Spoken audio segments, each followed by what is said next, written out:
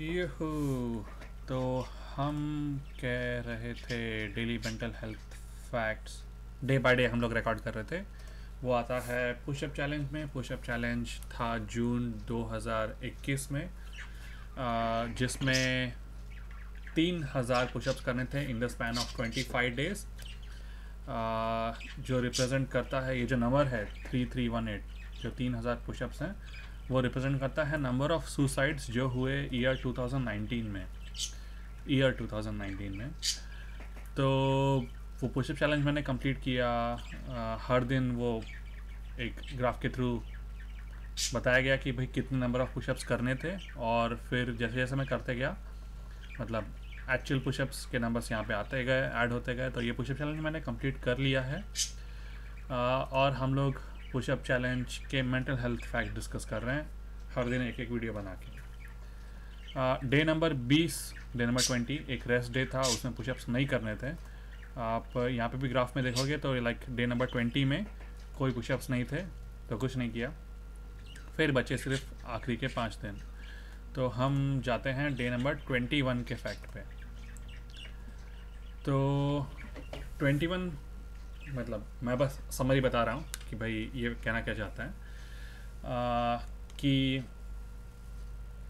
हम लोग जिस तरह का खाना खाते हैं उस तरह से आ, हमारा मूड चेंज होता है या फिर उस तरह से ओके ये मूड चेंज हो गया बहुत ही एंड प्रोडक्ट हो गया। सोच लो क्या होता है कि हम सुबह सुबह उठे हम्म, बहुत लोग क्या बोलते हैं कि भाई हमको कॉफ़ी चाहिए कॉफ़ी के बिना दिन शुरू नहीं होता। तो मतलब कॉफ़ी में क्या होता है? निकोटीन होता है और कुछ लोग शुगर लेते हैं। तो वो शुगर वगैरह जब ब्लड स्ट्रीम में आता है तो इंस्टेंट झटके वाली एनर्जी मिलती है। तो क्योंकि वो शुगर ऑलरेडी ब्लड में डिज़ोल्व होता है तो जो ब्लड में ग्लूकोज की मात्रा है वो बढ़ जाती है। और उसके कारण बहुत ही एनर्जी वगैरह लगती है। लेकिन जैसी एनर्जी का स्पाइक कम हो जाता है फिर आप देखोगे एक दो घंटे बाद जो बंदा वही जिसको सुबह सुबह कॉफ़ी चाहिए वो एक दो, दो घंटे बाद थोड़ा स्लो हो जाता है। आ, वैसे ही अगर हम लोग दोपहर में जब अगर खाना खा लिए तो नींद आती है। तो मतलब बाय डिफ़ॉल्ट ये है कि लाइक जब एनर्जी लगती है फ़ूड डाइजेशन में वो डाइजेस्ट होके फिर शुगर धीरे धीरे बॉडी में आता है। फिर शाम को अचानक से लाइक एंड टाइम में हमको थोड़ा एनर्जी टाइप फील होता है जब ब्लड ग्लूकोज लेवल नॉर्मल हो गया।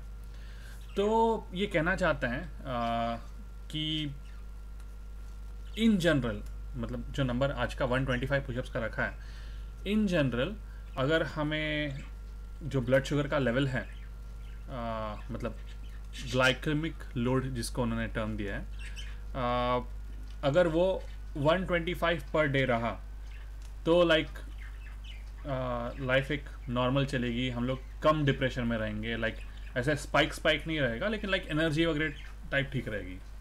तो इसके लिए फ़ूड जो है वो मिक्स करके खाना चाहिए जो ग्लाइकेमिक इंडेक्स है, ये उन्होंने नीचे वेबसाइट दे रखी है तो वो ग्लाइकेमिक इंडेक्स को किस तरह से कंट्रोल करके किस तरह से हेल्दी खाते हैं, वो एक एक इंफॉर्मेशन है आज के दिन पे। तो जब मैंने स्टार्टिंग में जिम वगैरह ज्वाइन किया था, तब लोग बोलते थे कि लाइक वो T D E total daily intake को मैनेज करते हुए फ़ूड खाओ। लेकिन ये एक बहुत ही डिफरेंट अप्रोच है, जिसमें लोग कहते हैं कि लाइक अगर अगर मेंटल हेल्थ पे फोकस करना है फ़िज़िकल हेल्थ पे वो डेफिनेटली टोटल डेली इनटेक के हिसाब से फ़ूड खाओ, लेकिन मेंटल हेल्थ के हिसाब से आपको ग्लाइक ग्लाइकमिक लोड के हिसाब से खाना खाना चाहिए, ताकि जब आपको मेंटल एनर्जी ज़्यादा चाहिए और कम चाहिए या फिर अगर आपको समांतर रखनी है तो उसके हिसाब से क्या कहते हैं, हमको खाना खाना चाहिए। तो ये आज का मेंटल हेल्थ फैक्ट था। डे नंबर ट्वेंटी वन का जिसमें बहुत ही कम 125 पुशअप्स करने थे। इजी था ये वाला दिन। तो ये कुछ नई चीज़ सीखने मिली। आ, एक नया अप्रोच खाने को देखने का और कौन से कौन से फ़ूड चूज़ करने का। हम ऐसे ही कोई और चार फैक्ट्स के साथ मिलते हैं अगले चार वीडियोस में। तो मिलते हैं अगले दिन या अगले वीडियो में या अगली ज़िंदगी में जो पहले आ जाए। चलो बाय बाय